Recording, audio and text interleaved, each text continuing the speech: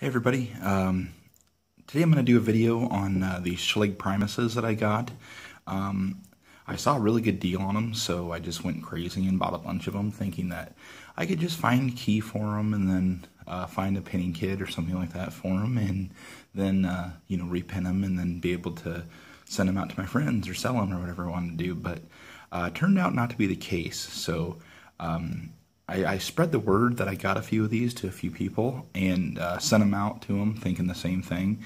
And we're all kind of running the same problem is that we can't find blanks, um, all that kind of stuff. So uh, since I since I'd made some trades with some people uh, with these, I decided to uh, you know make it you know my charge to get these to work so I don't feel like a rip-off artist or something like that. So um, basically, uh, these are all uh, EFP keyways, and that uh, means that it's the EF Schlage keyway with the, the Primus side bitting. Now, uh, that is really difficult to find those. Um, I've, I've sent, you know, I've been talking to people all over the internet, and they say that, you know, they're geographically um, restricted, meaning that if, if you don't live in a certain area, these keys are going to be hard to come by, if not impossible to get even if you live in a certain area, even if you live in the area that these are available, they're you know they're a pretty restricted keyway, and they're they're set more for, towards say like a industrial or a office building type. It's not a um, you know like an end user type of setup. So uh, so we ran into a lot of problems. So I decided to kind of take the reins and uh, try to make some of these work. And sure enough, it actually worked. Um, oh, by the way, I'm reshooting um, you're going to see clips of me working on a, a Primus and actually getting it working, uh, but the quality was horrible. So I'm reshooting some of the intros and things like that, so you can see better in the in the uh, video. What I'm going to do is I'm going to take one of these uh, locks and we're going to turn that into a working Primus with you can hear the sidebar in there, see the key, you can see the sidebar or the finger pin keys in it. And uh, we're gonna turn we're gonna turn this into a fully functioning lock. So um, the first thing I had to do was figure out how to gut them because um, they uh, I guess they were really intimidating to me. They come zero bitted and I didn't know what that meant at the time so now I do know what it means. And so it means you can take them apart real easy because there's no the, on the finger pins there's no wall on the front. So basically all you gotta do is take this back piece off. And uh, a lot of times these have been sitting for a while. So a lot of times you'll have to rake them a bunch of times because with zero bitting basically the key pin and the driver pin fits in the uh, plug. So that's why it's zero bitted because the shear line hits when all the pins are pushed down but these seem to be a little gummy inside so you gotta rake them a few times. I already did that to kind of speed things up on the video but essentially you just take the back ring off or if there's a tail piece I have some with like Adams Rite tail pieces and stuff like that on um, you'll take that off. There's a little pin in there you know there's a spring in there and then now you got this Primus and uh, now to get it apart uh, like I said, I've already worked on this a little bit. Normally, you'll have to take either like a like a rake or something like that and rake the pins a bunch of time. Maybe lube it and then uh, tap it on the table to get it to uh, kind of do what you want. So basically, uh, you just push out, push it out from the front. You'll see it start coming out. And like I said, I'll show you all the pins are uh, at the shear line. So what you're doing is you're just pulling out the plug, and you've got uh, all the all the pins, the finger pins are popping out the bottom, and that was really scary for me because I had no freaking clue where those were going to go. Then you got the springs, you got all six, one, two, three, four, five, six of your uh, regular springs. There's the other one. And then you've got the sidebar here, which when you release, there's two two springs holding that in. I don't know if you can see that or not. I'm using a new camera, but anywhere there's a spring there and a spring there. So, like I said, you just basically want to gut it, and oops. Um, I'll just show you real quick the zero bitting. I didn't mean to dump out the key pins and the driver pins. but anyway, the zero bitting just means that the key pin goes in, the driver pin goes in, and you're at the shear line. That's how all of them are. So that's why it'll just push out the front. Like I said, if you have trouble with it, you can um, you can uh, rake it a bunch of times just so those pins all sit down in there. But that's how they all are. That's how it's all pinned up. So it comes up the front, and then you can see here there's no there's no front uh, of the track. I don't know if you can see there or not. There's no front of the track for the uh, there's a track there for the there it is the track for the sidebar um, there's no front there so you can just push it right out the front so uh, I ruined the top of this I don't know if you can see that but I took a I did to remove that plate that they have like stamped in two spots to kind of hold it in place I took a chisel and a hammer and broke it or you know broke it off piece by piece and I screwed up the top of it but then I just refilled it with another one you can see so anyway, that's how you get it, and like I said, now you've got this huge pile of parts. It looks really intimidating, but it's really not so bad. Uh, it's pretty easy to get back together once you've done it a few times. So anyhow, um, this is the EFP keyway. It's just a gnarly little keyway, and um, the only thing I could get my hands on were e uh, C blanks because they're a pretty common blank for Primus. And uh, there was a, there was a gentleman selling these on eBay um, that I bought them actually by the pound for, and I bought uh, a couple pounds of these C these C blanks, and it actually looks like the same. But if you look down the if you look down the ends, you'll see there's. Let me see if I can get a good shot here.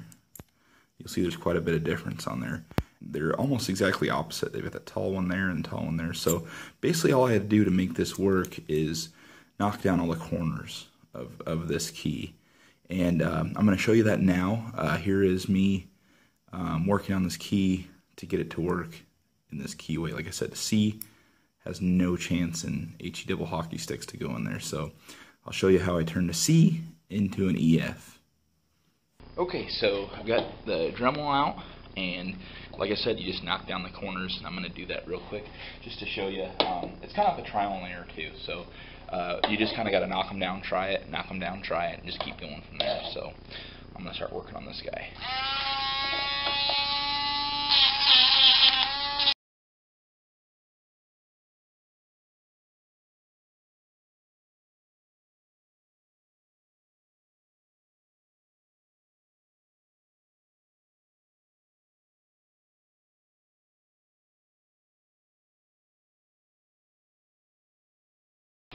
Okay, now I'm going to try it and see if it works.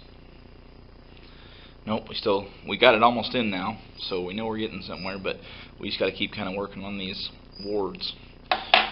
Keep going on those.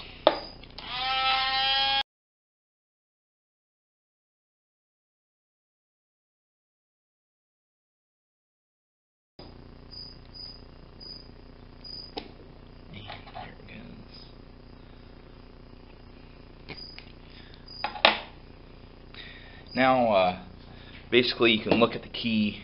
You know, you see it's going in there, and you can look at the key and see where your problem areas are. So the warding will leave a scratch where where it is, and I think I know what it is now.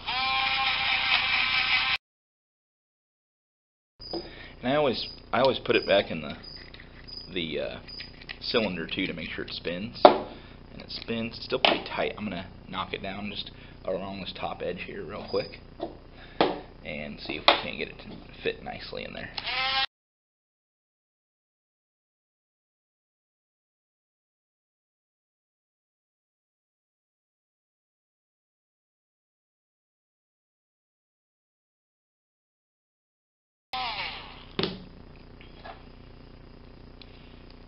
There we go. Nice. Nice fit. Make sure it still spins in the cylinder. And now we've got our EFP key pre-cut.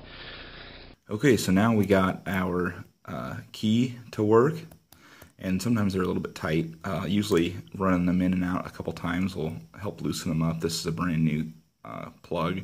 But anyway, um, now that we got the key to work in the in the thing, we got another we got another hurdle to jump over. Come on, you. Like I said, these loosen up eventually. Some lube. Um, you got another hurdle to jump over, and that is uh, pinning it. And I don't know if Schlegs have, or Primuses have a different pinning kit than Schlegs, but I actually have a Schlage pinning kit. And um, I'll show you, that for some reason the pins all stick out just a hair. And I'll show you one all pinned up here. And uh, like I said, I tried to show you in the last video, but you can't really see it. But you can see that, um, like with this one, I went a size smaller and it was too short. And, you know, just one size smaller. And that one, I think, is going to be okay, but these all have to be filed down. So I'm going to show you that in this section of the video, how I was able to uh, create a shear line out of a bunch of mismatched uh, pins.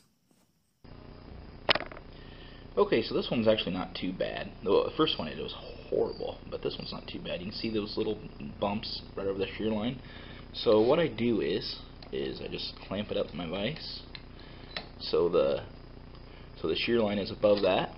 And then I'll just take my file and make those flush for the shear line. Now you want to be careful because the key will kind of move in there too. So you want to make sure you're only taking off enough material to make it shear, to make it uh, flush with the shear line. Not not like low below it because then you'll have to start all over again. And you want to try to be very careful not to take too much material off the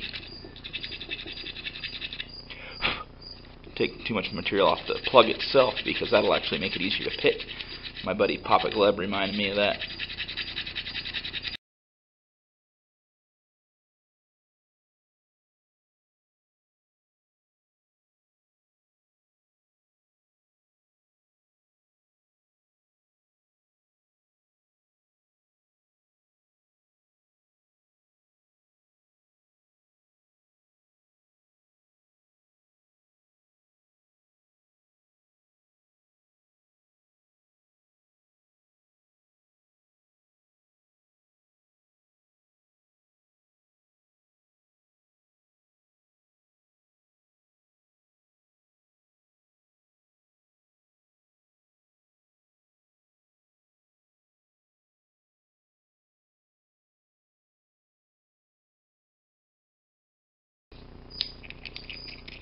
There we go.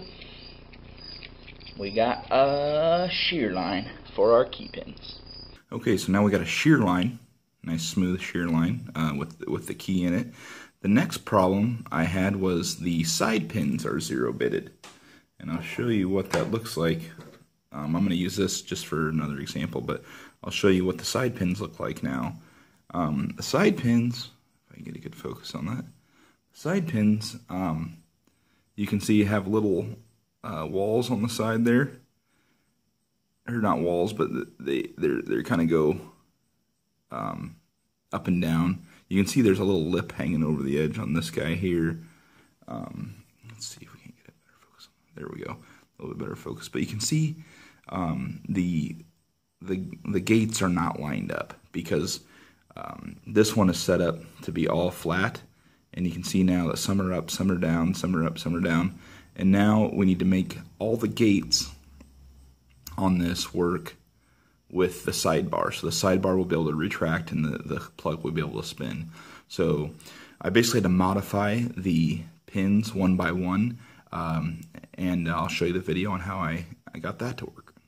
So what I do is I take something sharp. I normally would use a razor blade, but all my razor blades are dull right now. And I'm just going to run it across the top lip of this and make a mark on those. And run it across the bottom and make a mark on those. Try to do it a couple times, make a good mark on it. Okay, so now we got a mark. And then I'm going to pull these out one by one and to pull them out. You just pull the key back a little bit until it pops out. And uh, now you can see here. Keep that spring in there. Or you might be able to see here. I don't know if you'll be able to see or not but you can see here where I scratched it and it's just slightly over that gate. So we just got to open that up a little more. And to do that um, like I said it's just like a millimeter if that over. So what I do to make that work is I'll clamp the pin up, sorry, in my vise. And now this is where it gets kind of easier to pick because we're making that gate just a hair bigger uh, than it would be. But we're saving about $600, $500 on a pinning kit. So now that I see my line, I'm going to cut the gate with the cutting wheel of the Dremel. And like I said, I'm just going to make it a hair larger so it'll fit in there. Over.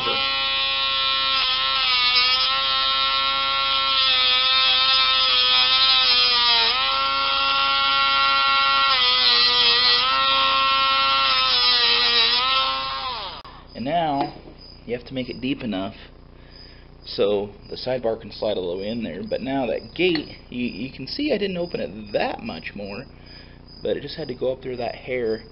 And now I'll show you. We'll put that in there.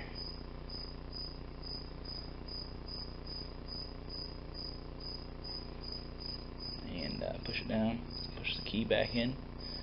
And now you can see that gate for that for that sidebar uh, sidebar pin now it will go into that sidebar. Now the sidebar will go in on that side. You can see it now it's it's going into that gate there. That's why it's popped up here. So now we got to do that to all uh, four of the rest of the pins. So I'm gonna go ahead and lay these out in order so it won't be such a pain in the behind to put back together. But you can see it's now that gate's there. But I'm going to show you that it's still not just a gimme. You know, the, the sidebar still is effective uh, once you once you pin it all up. So I'm going to go ahead and uh, cut the rest of those and get that sidebar working.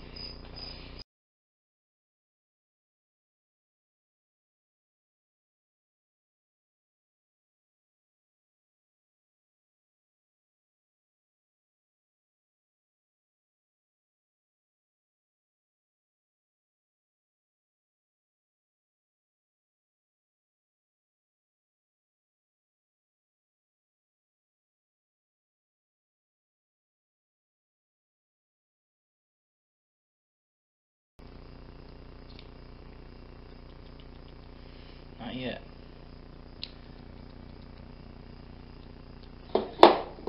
See, you can rock it back and forth here. Try to figure out what's going on. So it goes in there, it goes in there, so it's just a middle one. So what I'll do is some touch up.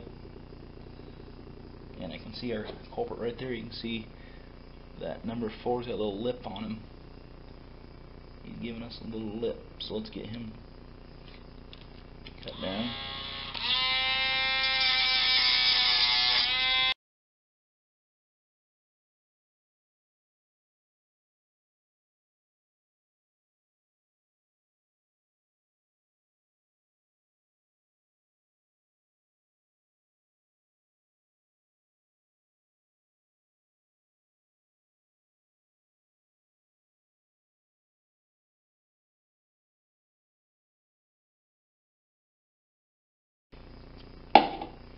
Alright, so there we go. It uh, fits in there and the key spins and we're ready for to repin the whole thing. We've got finger pins that work now, we've got a sidebar that works now. Now we're going to pin it back up and I'll show you how to do that. Okay, so here's a shot of the the the pins modified and I'll show you it's just a slight modification. It seems like it would be a a giant modification, but it's really just a really slight modification. I can try to show you the difference um, of a modified pin versus an unmodified pin. Okay, so here's an unmodified pin. Um, you can see the gate on it is just in one spot. It's got a little lip in there that interacts with the uh, sidebar, but you can see the gate on that is relatively large. And on, I'm assuming on a pinning kit they'll have this gate higher or lower depending on what size of the bitting is. So that's a that is a uh, standard stock zero bitted finger pin um, gate, and here is the new gate that works with the keys that I got. As you can see, it's not a huge difference. I had to file down, or I had to grind down the, the center bar there, which is going to make it slightly easier to pick, but you can see the gate only grew, and, and this is on pretty much all of them, but you can see the gate only grew. I mean, we're talking fractions of a centimeter, fractions of a millimeter here. You gotta get close up on that. So, I mean, side by side, and that's for a pretty drastic cut. So side by side, you're not looking at a, a very drastic change in the height of the gate. So setting it is not going to be that much easier, but it is still going to be a slight slight advantage, and it's not going to be as hard to pick as a Primus. But I mean, if you want something to get the feel of Primuses, I'm I'm sure this would give you uh, what you need on that. So like you see, the gate is just only slightly larger, so not too bad. But uh, when you come out in the end with a with a fully working Primus, it's uh, it's and and plus all the work that you had to do to to get those running, it's just a great deal. So um, I think the rest of the video is just uh, coming out with um, is uh, putting it back together, which uh, is going to look like this when you're all done. You'll have a working key. You can hear the sidebar clicking in there. Uh, working key, and this is a Primus all pinned up, six six regular pins, and a sidebar. So uh, enjoy the rest of the video. Okay, so um, I went ahead and just filled the, loaded the top pins, save time on the video, and uh, I want to show you how to load the side pins. Side pins are really easy. Uh, they look really intimidating, but they're really easy. Uh, basically, all you gotta do is put the spring in the hole where the spring goes, and you can tell the side pin springs by process of elimination. Uh, there's two side bar pin or springs. There are there are uh, five finger pins, so that means there's five finger pin springs. And then you know there's one spring in the back, and then obviously you have your uh, driver pin spring or your you know your your pin stack springs. So what I do is I put the spring in, and I'll back up the key until that that gap is open. Then I just take my fingers because the the finger pins are so honking big, and uh, sorry I'm doing this through the camera so and then I'll just put in the thing. So I'll just work my way through there one by one and do that. So now I'm going to pin up the key pins real fast. And you always want to try those, like when you're putting this whole thing together, unless you want to have to pick it open in case you made a mistake, you'll want to try everything separately. You'll want to try your finger pins separately and your key pins separately to make sure that you're not going to end up with a big mess. So I've already done that to save time in the film, but put your key pins in, put it in, make sure it turns, make sure your shear line is nice and smooth and all that stuff, and and then you can put your sidebar springs in, your sidebar uh, sidebar in, and then you just put the whole assembly in there. So, like I said, you've got you've got uh, your six key pins, then you've got these tiny little springs here. Those are your sidebar springs, and they just go in the oops, they just go on the edge here. You can see they just go in, there's a little recess in there those go in, so put those in.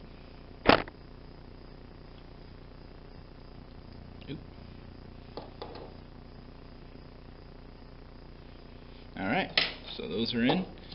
You take your sidebar, you put your sidebar in. And like I said, here's a good point that you want to double check, make sure your sidebar is going to sit flush with the plug.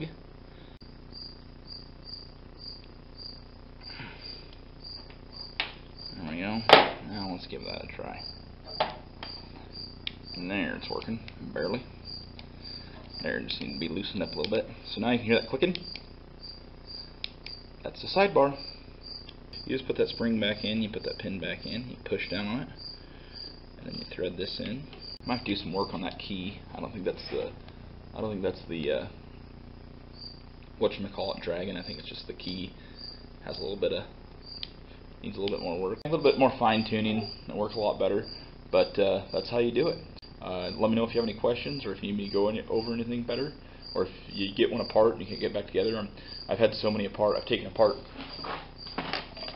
about infinity of these things now, so I've got a whole, basically a whole zero-bitted pinning kit for Primuses. Which I haven't been able to pick one yet, but I've been working on making them, and like I said, I had to get these things running for my buddies I traded them to, so I didn't feel like a rip-off artist. So anyhow, there you go. And just so you know where to get all this stuff, the Primuses, the Primuses I got from, uh, this is the eBay username, SpeedOps, it's S-P-E-E-D dash O-P-S, and they're selling the Primuses. So if you want to find these really cheap on eBay, or any other cool stuff, uh, check out Speed Ops And then the place I got the keys from, the the bag of keys, that, like I said, he sells them by the pound, roughly 40 of them comes to a pound, is uh, Go Doug Go is his name. Anyway, if you want to get some uh, some Primus pre-cuts, uh, Go Doug Go on eBay. Search his sellers thing, and he's got some really cool locksmith stuff too. So